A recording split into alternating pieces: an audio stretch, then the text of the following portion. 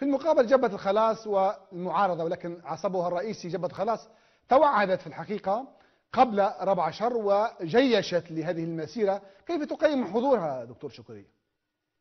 وحجم هي المسيرة من ناحية الحضور الجماهير كانت حضور آه، جيد وحضور ممتاز وكان حتى الزخم الثوري أحسسنا كل من شارك آه، بشكل من الأشكال في آه، ثورة 2010 2011 آه، نعم. أحس يوم المسيرة ويوم المظاهرة بذلك الزخم وربما حتى تفاءل الكثيرون أن أن تلك المسيرة ستؤدي إلى نتائج عملية لولا أنه كان هناك آه، انقسام ونعرف مسبقا انقسام آه، في الشارع السياسي الذي يفترض أنه آه، شارك في الثورة وأنه يريد أن يعيد البوصلة لهذه الثورة ويتجاوز الانقلاب لكنه حافظ على تشرذمه وتفرقه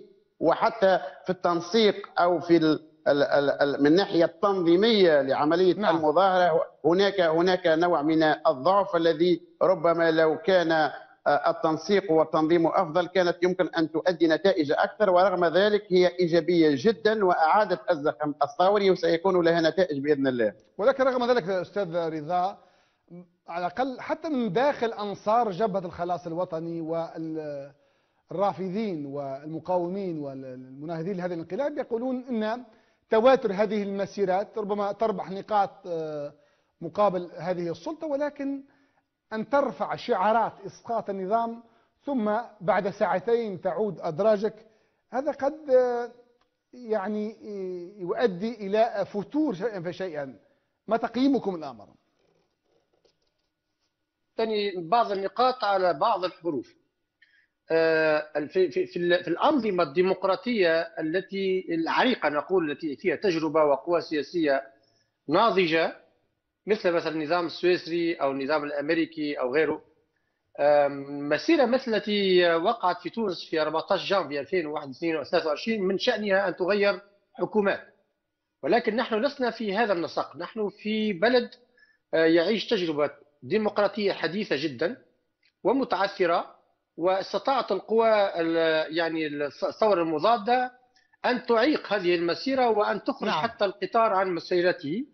وفي بلاد مثل بلادنا نحن ما ما تكلش المسيرات المنظمة من طرف من طرف يعني الشارع السياسي. نعم ربما يوظفها توظفها السلطة وتضيف إلى ديكورها الديمقراطي بعضهم يقول هكذا. لا هو الشارع السياسي شيء والشارع الثوري الشعبي شيء آخر. إحنا في بلاد مثل تونس أنا الذي الحقيقة الذي جلب انتباهي في 14 جانفي 2022 وهو مختلف عن 14 جانفي آه عفوا 23 مختلف عن 22 هو أن هناك وجوه من الشعب التي كانت حاضرة وكان نوعية الحماس خاصة عند كسر الحواجز الأمنية والدخول لشارع حبيب بورقيبة شارع الثورة نعم. كان بوجوه مختلفة تماما عن تلك الوجوه التي كانت في 22 في 22 كان حقا المسيرة مكونة من طرف من قوى سياسية معينة. والناس كانت ناس مثقفه وناس كما نقولوا إحنا عندهم عمر معين ومن شريحة عمرية معينة وغير نعم. ذلك.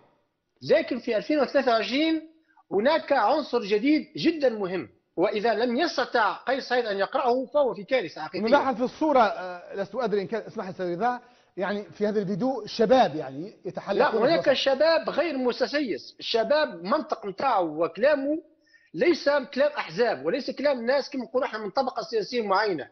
ناس جاي من الشارع التونسي وهذا هو الخطر يكمن ضد النظام. أظن أن الذين يقرؤون هذه المسيرة من الناس العقلاء من الدولة العميقة لأن أقول أن السيد قيس سعيد إذا هو الآن ما زال في السلطة فلسبب بسيط جدا. هو أن القوى الصلبة داخل الدولة الأمنية والعسكرية والإدارية ما زالت محتاجته لانعدام البديل. هو بشكل أو بآخر الان الملف سي فرجاني اللي هو مستشار الوزير للرئاسه أنا أعتقد وهو رجل وطني أعتقد أن الملف الطبي للسيد قيس سعيد جاهز والأمر فقط أنه لا يستطيعون أن كما نقولوا إحنا يبدلوا ماء لم يلقوا ماء آخر. هو هناك مشكلة حقيقية في تونس كانت في مسألة البديل لأنه هم يحبوا بديل من غير النهضه بديل من دون الإسلام السياسي بديل غير ثوري. يحبوا بديل باهت مثل البديل الجزائري مثل البديل المصري آه، اللي يضمن لهم يعني تحقيق المصالح القديمة.